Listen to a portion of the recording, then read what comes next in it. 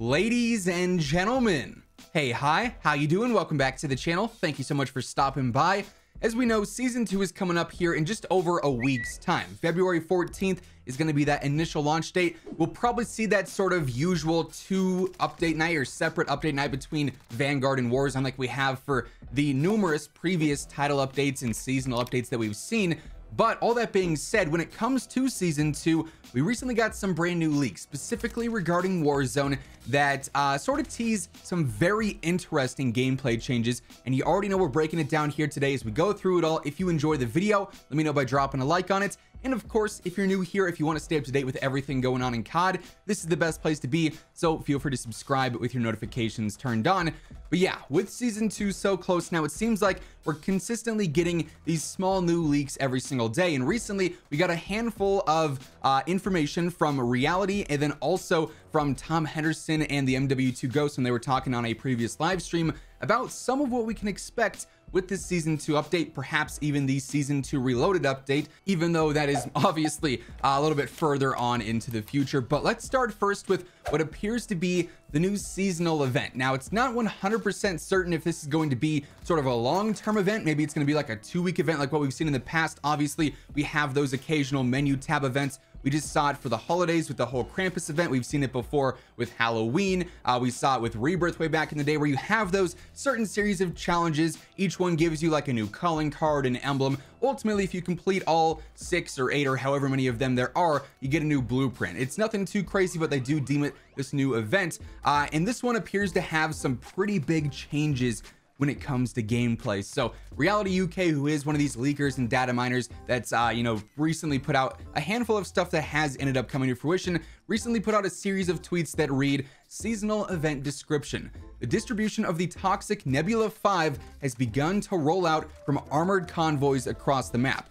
Ambush them to gain valuable equipment and weapons. Remember to deploy the new personal decontamination station that rhymes. Nice. Uh to briefly filter out toxic gas as needed. So this is the first tweet. There's a couple of ones that are going to follow up with this that also have some very interesting information but just breaking down this first one this sounds something very similar to like an event with the trainer. I honestly even like some of the mobile broadcast stations back from Verdansk I was talking with Espresso about this a little bit and it's like yeah that sort of lines up a little bit. Basically it seems like we're gonna have these convoys that potentially move across the map. Maybe they're just stationed in like predetermined spots. We're gonna have to wait and see but if you go in and break into them you can actually get certain uh, equipment and weapons from these including this personal decontamination station the PDS which almost seems like it's a mobile gas mask in a way. You deploy it and it filters out toxic gas as needed. So I'm curious to see if that's something that only be available uh, around these armored convoys or maybe in the bunkers. We'll get to that in just a moment. Or if you could use this in the zone. And if that's the case boy oh boy I I totally and fully expect this to be the new stim glitch. I'm just being honest here. With it seems like uh, every every new update every time we get a big feature like this it's broken in some capacity. This is just screaming hey use me in the gas for an infinite amount of time.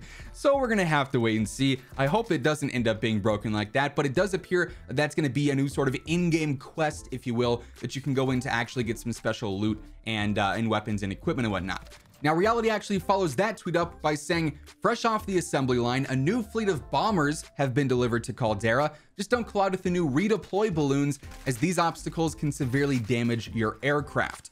So this tweet also has a load of information in it.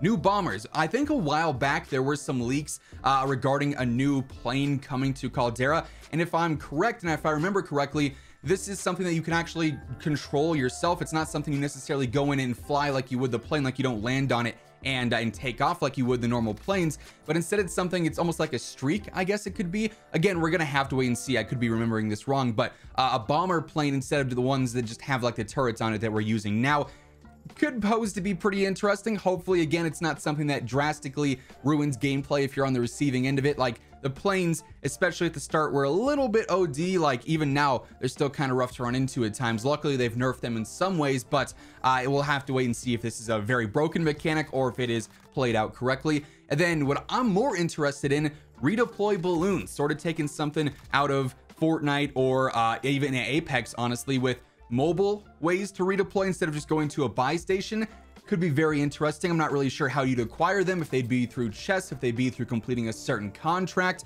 maybe going into those armored convoys and getting that out of there. Again, we're gonna have to wait and see, but that's another very game altering feature that is being leaked and sort of teased here. As always, take everything we have here with a pinch of salt. None of this is 100% confirmed until we see it in a roadmap or in a blog post, whatever the case may be, but definitely some interesting stuff there. Now, Reality ends off this tweet thread by saying, now fully operational, a new factory has begun production of the lethal Nebula 5 gas for use in various weapons.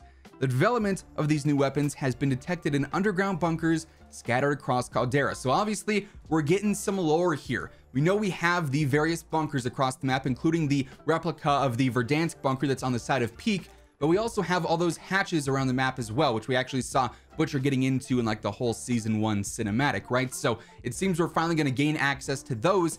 And in addition to gaining access to them, they're going to be full of these special gas weapons which is very interesting. I'm not sure if they'd strictly shoot gas and that's all it would be like you could hurt your enemies with that you could sort of uh, mess with campers that way if you know a team is camping inside of a building you could potentially you know wait for them to move out and have that it forces them to put on their gas mask if they have one of those that messes up that gunfight for them obviously there's interesting ways you could sort of use those uh, to your advantage sort of giving you the same effects as the gas grenades that we have now. Again we are going to have to wait to see how it's actually implemented, obviously, but Another thing that could drastically impact gameplay, this also is teasing a new factory location on the map. I would guess it's probably going to be where we were talking about the other day near Arsenal, where we have that area that's on the mini map. It's updated to be this huge building, but in game, that building's not there yet. So that'd be my guess for that. Uh, but this is all very interesting stuff when it comes to core gameplay changes. There is, however, one other final leak that's I think definitely worth talking about because it's going to be a very drastic change if it ends up happening. Uh, Rebirth, as we know, it has spiked in popularity over the course of the past year or so, especially now with Caldera. Not everyone's a huge fan of the map itself with how it plays. A lot of players are especially not happy with the fact that they can't get their loadouts very quickly in Caldera, so everyone's turned into Rebirth, where the rules are normal, the gameplay is fast-paced, it's nice and easy, everyone's liking that. But, as we've talked about previously, there is this rumored new resurgence map, this new rebirth map set to come around the anniversary of Warzone, which is March 10th, which would be about smack dab in the middle of season two, potentially season two reloaded. And according to Tom Henderson in the MW2 Ghost, it's possible that this could actually replace Rebirth Island as the new resurgence map. I hope that's not going to be the case. I hope they can sort of coexist and we can alternate between the two. That I think is the most ideal event, but it's very possible that in season two, we could actually see the removal of Rebirth at the minimum for a little while. Maybe it comes back in the future and they do alternate, or it could even be permanently, which would be very unfortunate. I know a lot of players would not be very happy with that. But all that being said, those are the big season two gameplay changing leaks and rumors that we have as of right now. I would imagine that in the coming days, we get some official information on season two via a roadmap, via a blog post. You already know if and when any new information surfaces, we're going to be covering it right here on the channel. So stick it here for that and everything else going on in COD. Make sure you're subscribed with your notifications turned on. And if you enjoyed the video, let me know by dropping a like on it would be seriously appreciated. But that's going to wrap things up for today. Thank you so much for tuning in. And until next time, take it easy, have an awesome rest of your day, and I'll catch you guys later. Peace out.